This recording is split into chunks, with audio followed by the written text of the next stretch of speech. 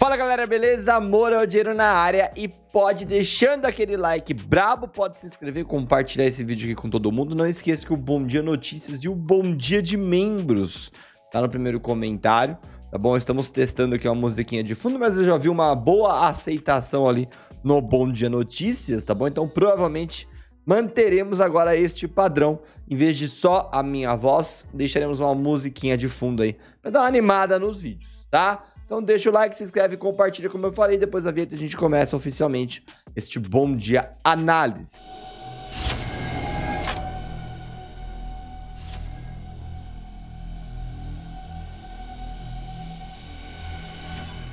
Bora lá então, o que temos para o IBR3 é o seguinte, aumento nas quantidades de contratos, temos 1.3 milhão, basicamente 1.2, vai, milhão a mais ali de vendas, preço médio no 0,86 e o volume de 163,4 milhões. Ou seja, temos uma redução de aluguéis, aluguéis, aluguéis, galera, aluguéis aí em 8, tá? E 0 a 0 no dia de ontem e um volume irrisório, 20.02 milhões, tá bom? Vamos ver o que acontece no dia de hoje, mas é dia 22, né? Amanhã é o último pregão da semana, pré-natal. Então ninguém espera muito milagre aí nas últimas semanas é, do ano. Mas janeirão já tá aí, piscou, chegou, já chega dia 3 com tudo aí, primeiro pregão do ano. Vamos observar, tá bom? Mas por enquanto, oizinha aí, lembre-se que estamos entrando no trimestre do final da recuperação judicial. Não é pouca coisa, tá bom? Então se liga aí, oizinha, é 0 a 0, tá bom? Nós temos aqui uma IRB no 4.06, deu uma despencada chata. Tá bom? Preço médio no 4,26, volume de 598 milhões, tá bom? O volume ele deu uma reduzida lá no dia 17, que foi acho que a sexta-feira, né? É. Aí para 15,566, voltamos para 598 ali, milhões e a quantidade de contratos subindo. Nossa IRB, tadinha, a gente já fez vídeo sobre ela ontem, tá bom? Antes dessa despencada ali de 3,10%. IRB teve um resultado de outubro aí que acho que o mercadinho não gostou muito e tá seguindo sua jornada de queda. O que, que nós temos aqui? Topos descendentes, sem parar e lá vem fundo descendente de novo, tá bom? De olho em RB, LTBzinha ali a ser tocada. Por enquanto, uma semana bem trágica para IRB, para ser sincero, né? 5,14% de queda. De olho em RB, vamos ver se vem uma retomada. Voluminho baixo também. Aluguéis voltando a crescer. Senta espera, porque RB demanda paciência, tá? Gol 4 no 18,3. Volta a dar uma subidinha, mas também sobe ali os volumes de aluguéis, né? Ó, 184 milhões, ponto 3, né? De volume. 10,6 milhões de ações e o preço médio ali no 17,26. Os vendidos já estavam negativos, né? E continuam negativos. As aéreas dando uma animada. Cadê nossa querida Gol 4 aqui? Que anima um pouco o peão. Olha lá, 5,11%. Fecha lá no 18,30 para vocês entenderem a importância de uma zona de acumulação, tá bom? Bem importante mesmo, tá? Gol 4, 18,85 é logo ali como região de resistência. 20 e 32 logo em sequência, tá bom? Nós temos 98,48 milhões de volume, gráfico semanal 0%. Pode ser que positivo e hoje amanhã agora a semana de gol com novas altas, tá bom? Então de olho aí que as aéreas estão baratas e o barato tá ficando caro, tá? Bradespar no 23,57, quantidade de contratos no 20,4. Nós temos um, um mix aqui, né, de emoções, né? Nós temos quantidade de contratos dando uma diminuída. Acho que tem até um bug aqui para falar a verdade, né? Ou teve algum tipo de deságio de, de, de bonificação. Não tô sabendo aqui, Bradespar. Deixa eu abrir aqui a bendita, né? Da BRAP 4. Ah, teve um deságiozão forte. Beleza, tá bom. Teve. Foi pagamento de. Não, acho que foi.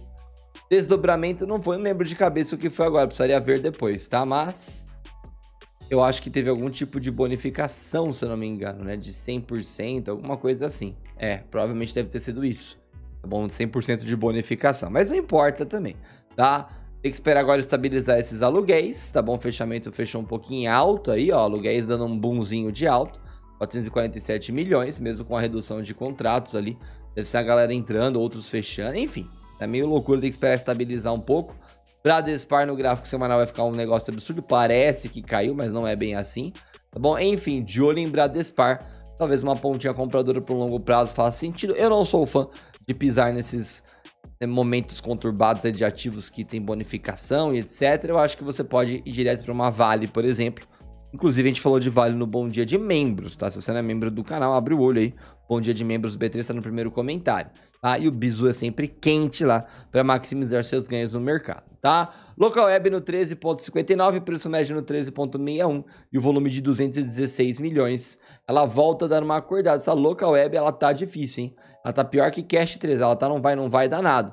Né? Mas por enquanto ela sustenta 12,60 como região de suporte, que é o que gostamos de enxergar. E olha, se você não fez uma comprinha Local Web, é, tome uma decisão, porque de fato é um suporte bem forte e ficar dormindo no ponto daqui a pouco você perde uma alta. Mas não se alavanque, porque claro que esse 12,60 pode ser que venha, sei lá, de repente um começo de ano meio conturbado e venha uma pancada de baixa em local web, tá bom? Eu sei que eu comprei, trabalhei posição, tô focado no longo prazo, tô bem tranquilo com o local web, porque aqui a gente fala e faz, tá? Voltou para uma LTB de olho no 16 e 10, de olho numa zona de acumulação do 10,27 até o 12,60, de olho em local web, 6,5% de alta, 94,85 milhões de volume, local web aí apontando pro alto, tá bom? E aí nós temos uma Azul 4 no 26,44, preço médio no 25,1 e o volume de 323 milhões, 12,9 ali, quantidade de contratos, tá bom? Até me perdi aqui que a gente estava olhando ali. Azul 4, né? olha lá, deu um branco do nada aqui na cabeça. 7,87% de alta, 270 milhões de volume, tá bom? Nós temos uma semana positiva aqui, 4,09% positivo para Azul 4, ganhando de uma Gol 4 Lembrando que Azul 4 subiu menos do que uma Azul 4, é, Azul 4 subiu menos que Gol 4 nos últimos momentos aqui do mercado, últimos dias e semanas. Então a gente pode olhar para uma Azul 4 batendo seus 38 e 58 ali em cima. Mas por enquanto é o que tem para hoje. Azul 4 aí, é, na minha opinião, quem não está montando uma posiçãozinha nas aéreas aí, tá dormindo no ponto, tá? Daqui a pouco elas começam a decolar de novo. Tem muita gente que fala mal daí das aéreas e etc, mas é o momento da ponta compradora, na minha opinião. E aí você protege uma operação se você ficar um pouquinho é, é, pé atrás, né, com aquela pulga atrás da orelha. Mas olha, abre o olho, hein? Abre o olho porque a Azul 4 tá diminuindo bastante os alugados aqui. Tá subindo legal. Não espera para comprar topo depois. Embraer, a gente já falou lá no Bom Dia de Membros, mas olha lá, 23.1, a quantidade de contratos no 15.1 e o volume cai com um spike de alto. Então dá uma olhada lá no Bom Dia de Membros, que eu passei um bisu forte ali da Embraer, né, passei as melhores considerações na minha opinião. E aí nós temos um ativo que deu uma decolada, nós vimos isso daqui lá no fechamento diário de ontem, mas toma cuidado, tá? BID 11 hein, despencando, no 28 e 24, 35,4 ali de preço médio dos vendidos, 301 milhões de volume. Nós temos uma BID 11, que na minha opinião, ela pode até chegar aí no 21,64, mas eu acho que é uma baita oportunidade para uma ponta compradora. Né? O mês de dezembro já está acumulando 22% de queda. Se trata de um ativo um pouquinho mais volumoso, nós temos uma BID 11 buscando 21,64 de olho numa região de suporte. Tá? Quando a gente coloca no gráfico diário, como eu já falei anteriormente, nós veremos uma região de proteção de preço ali no 26 e 20, tá bom? Então, de olho em BID 11, né? É o que eu falei, vou repetir infinitamente isso daqui. Depois da listagem lá que eles tentaram fazer nos Estados Unidos e aquela opção bem gordinha de cash out, vale a pena prestar atenção em Banco Inter no longo prazo. E aí você não precisa esperar tocar no suporte do suporte para se posicionar, né? Se você compra agora e ele volta para os 44 reais, você terá 55% de alta versus 22% de queda, 23 caso bata ali no 2164, é um risco retorno bacana, tá bom? Só vou falar isso para vocês. B13CA3 no 11.37, quantidade de contrato sobe um pouquinho para 41.3 milhões, e o volume de 495 milhões, 11.99 ali o preço médio dos vendidos. 3.07% de queda. Nossa querida B13CA3 rompe o 1164 e o 975 é logo ali como região de suporte. Nós temos topos descendentes aqui e nós temos o rompimento do suporte. Cuidado, hein? B3SA3 pode ser que busque ali o 9,75. Região zona de suporte, tá? E aí é um ativo que também demanda um pouquinho mais de paciência, um pouquinho mais de longo prazo. B3SA3, quedinha chata. Mas quem aí tá buscando um PMzinho, de repente faz sentido. É, é lógico que vai depender do seu percentual de queda. Mas de verdade, não duvide, pode ser que ela busque o 975 ainda. Seria uma queda um pouquinho mais chata e acentuada, mas no mercado ele é meio piradão mesmo, tá? Alpa 4 no 37, preço médio no 39.5 e o volume de 330 milhões. Entra um pouquinho de vendido aí em Alpa 4, acho que a gente falou dela ontem lá no, no Bom Dia de Membros, tá bom? Ela tava bonitinha ali numa região ter suporte, que era esses 38 aqui, deixa eu ver aqui, zona do 37,99 até o 32,12, tá bom? E no gráfico semanal ainda tá tentando deixar um martelinho, ainda tá tentando segurar um pouquinho essa Alpa 4, tá bom? Tem um deságio forte no dia de ontem, mas recuperou bastante também.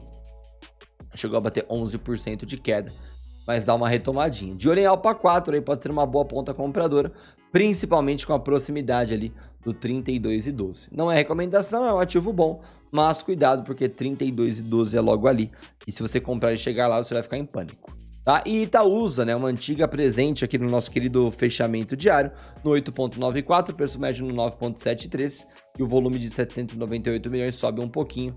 Itaúsa, né? Se eu não me engano, Itaúsa e Alpa 4 tem tudo a ver aí. Hum, eu não lembro de cabeça agora, mas acho que sim, né?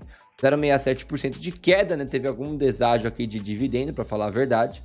Aí ela volta lá por R$ reais nossa querida Itaúsa numa região de suporte bem forte ali perto do 9,23. Pode ver que aqui no gráfico semanal, desconsiderando ali é, data ex, 9,39, no fechamento oficial 8,94, ex sua divergência, tá bom? Mas Itaúsa, na minha opinião, pontinha compradora, mesmo que seja data ex, mesmo que seja data ex, na minha opinião aí, no longo prazo, né? Vai se posicionando na baixa e no longo prazo você deve colher frutos, beleza?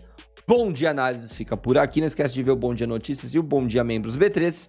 Deixa o like, se inscreve, compartilha. Já somos mais de 50.100 inscritos aqui, tá crescendo. Amo vocês. E até o próximo vídeo, hein?